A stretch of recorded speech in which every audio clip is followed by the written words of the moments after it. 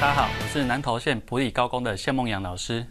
来，接下来我们所要介绍章节为第五节原子核的构造。首先呢，我们来回顾一下上一个章节呢，我们提到拉瑟福呢以阿尔法粒子装集金箔来验证原子核的存在，所以于是乎中间呢就是所谓的原子核，外围呢绕行的所谓的电子，我们又称它叫做行星模型。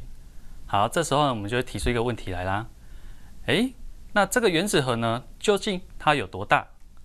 那另外原子核内部呢有没有其他的细小的结构呢？好，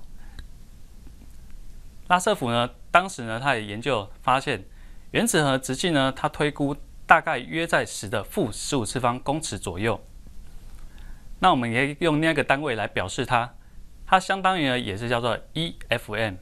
那这 f m 呢，我们中文称它叫所谓的飞米，所以代表一飞米呢，相当于叫做十的负十五次方公尺。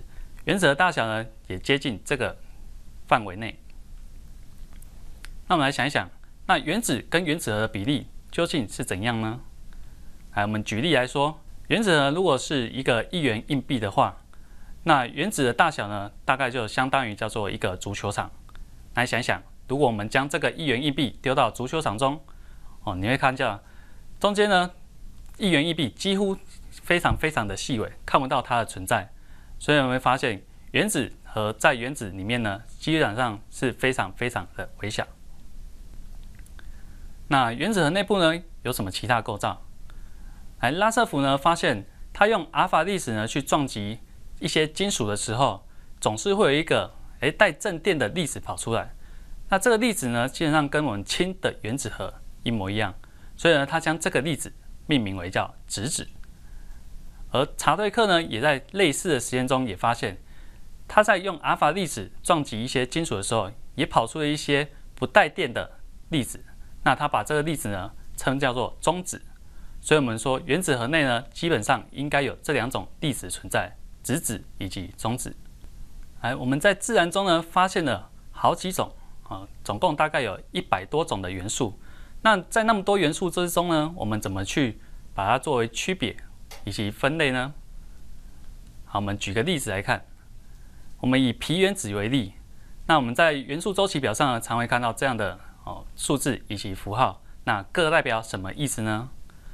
来，中间呢，它的元素符号呢，以铍原子来讲，我们是将它拉丁文的前两个字母当做它的呃元素的符号。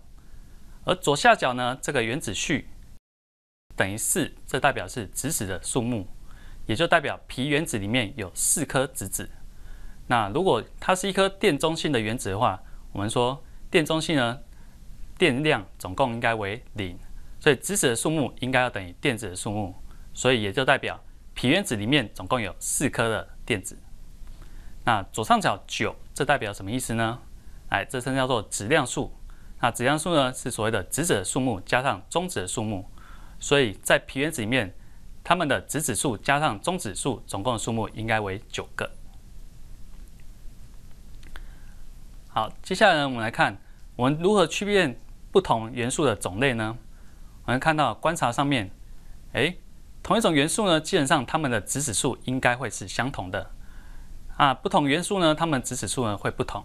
所以我们看到周期表上。你会发现这些数字五六七八九十，哎，好像有点排序啊，没有错，这就是我们的质子数，或可以把它称叫做所谓的原子序。我们可以把质子数的数目来当做原子排序的参考。来，我们来练习一下。来，下面呢有一个铁元素哦，那我们来看一下这张图。那你看看这个元素里面呢，它总共有几个质子、电子及中子呢？朋友们想一想，